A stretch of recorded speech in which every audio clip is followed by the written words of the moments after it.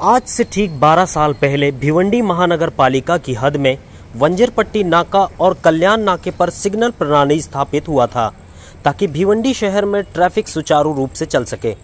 लेकिन 12 साल पहले कल्याण नाका और वंजरपट्टी नाके पर लगाए गए सिग्नल ज़्यादा दिन तक नहीं चल सके। इन दोनों ही जगह लगाए गए सिग्नल कबाड़ साबित हुए थे।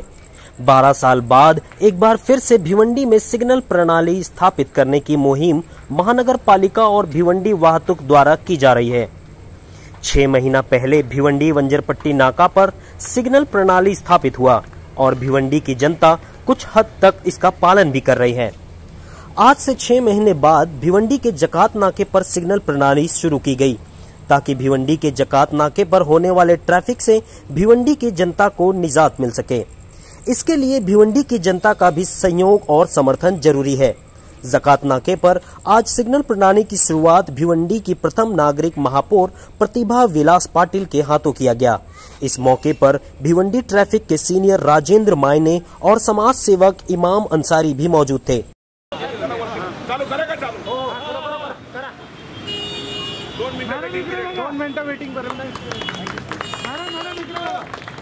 मॅडम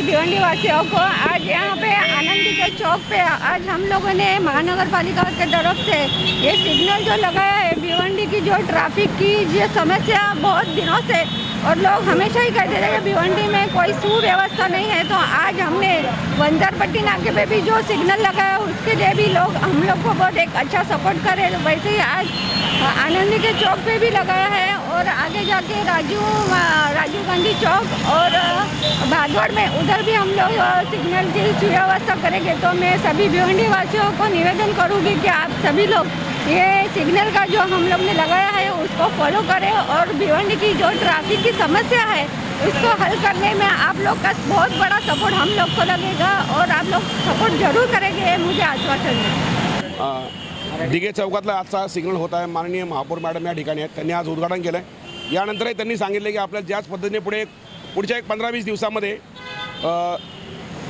राजीव गांधी चौक कल्याण नाका या ठिकाणी होणार आहे. आणि त्याचबरोबर दुसरं जर सँक्शनिंग ते पण होत आलेलं आहे जे भादवड नाक्यासाठी असेल तर अशा पद्धतीने भिवंडीमध्ये बऱ्याच तीन चार ठिकाणी सिग्नल सिस्टीम चालू होणार आहे. त्यामुळे लोकांना माझी अशी विनंती आहे की आता जर आपण एका लाईन ऑफ ॲक्शनमध्ये येणार आहोत तर आपण त्या कृतीतून जावं. सिग्नलचे नियम पाळावे जेणेकरून सर्वांनाच वेळ मिळेल. सवलत मिळेल आणि वेळेमध्ये लोक पोहोचतील फक्त रिक्षा चालकांना एक विनंती आहे की त्यांनी कुठल्याही प्रकारे सिग्नलचं ब्रेकिंग करू नये. आणि असं जर काही झालं तर क्लिअर कट त्यांच्यावरती केसेस केले जातील. नियमांचं जर पालन झालं नाही आणि जर नागरिकांनी नियमांचं जर उल्लंघन केलं तर त्यावेळेस तुमचं ॲक्शन काय राहणार आहे? क्लिअर कट मोटर व्हेकल ॲक्टप्रमाणे केसेस केल्या जातील. शंभर टक्के. एक्सप्रेस न्यूज हिंदी पर. वीडियो देखने के लिए करें लाइक शेयर और सब्सक्राइब बेल आइकन दबाना ना भूलें.